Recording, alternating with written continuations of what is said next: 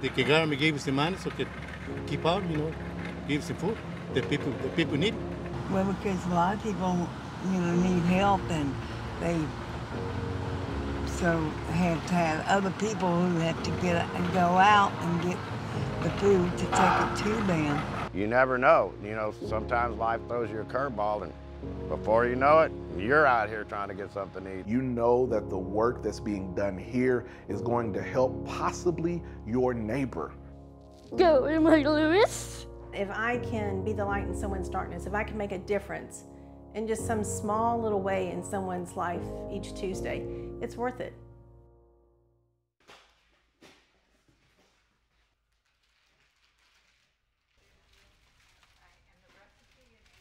M.I. Lewis has a long history, started in the early 60s with Reverend Lewis in his house, basically, because he saw a need for food. M.I. Lewis Social Service Center is a nonprofit agency in Dickinson, Texas, and we assist with emergency assistance for rent and utilities as well as a food pantry. It was something that was started by the Reverend M.I. Lewis, and he was feeding the neighborhood out of his own home. It then grew from something that was operating out of a pastor's home into a social services center that now helps with rental assistance, utilities, prevents people from getting evicted, and making sure they feed them.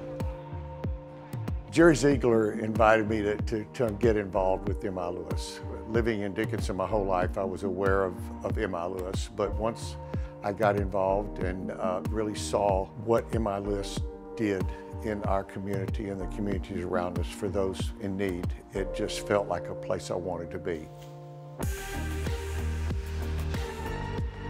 So we are part of WAVE, which is Woven Academics Vocational Education. We go out into our community and we continue to practice the skills that we've been working on at school. M.I. Lewis like when you help the community and you go like drop food out to the people so you can help them. They know about things that are available in the community and they've experienced and they see clients come through and they see that the bags that we have put together that they take home and it's like, wow, we did that and we were a part of it. I always knew I wanted to do this after I retired.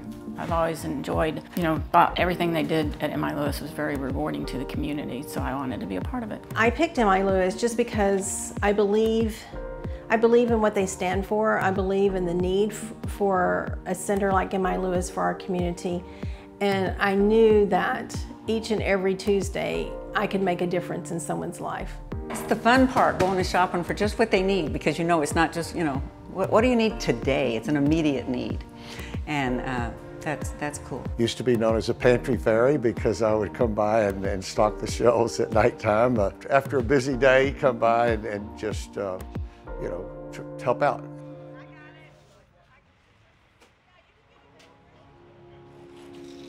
Uh, we just come out here to be the hands and feet of Christ and help others out that are less fortunate and maybe one day when they get on their feet and they get the opportunity, they can come out here and serve and help others as well. We serve out here every third Saturday of every month.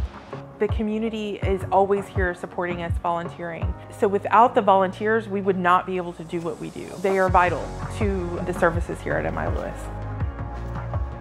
We desperately need food, especially during this time of COVID. Our food bank is running very, very low because before they could only receive food six times a year and now because of COVID we're letting them get food every single month.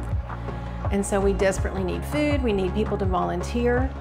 Um, the volunteers can make such a huge difference because that's just employees that the center doesn't have to hire. When people want to think about someone needing food or rental assistance or any kind of social services, sooner or later somebody's going to refer them to M.I. Lewis because their track record speaks for itself. It stays in our community and it helps people in our community. What we need in this community, we need to make people whole. Whether you donate your time or donate your talents and your gifts, then we're here for you. It does my heart good. It makes me feel good to know that that we're able to serve and help those people in our communities in the area around us because of the kind generosity of, of the volunteers and those people that help us with funding. We need your help at M.I. Lewis. If you can't donate financially, donate your time. For more information, visit our website. To learn more or donate, visit milewisctr.org. MI Lewis Social Service Center, more than just a food pantry.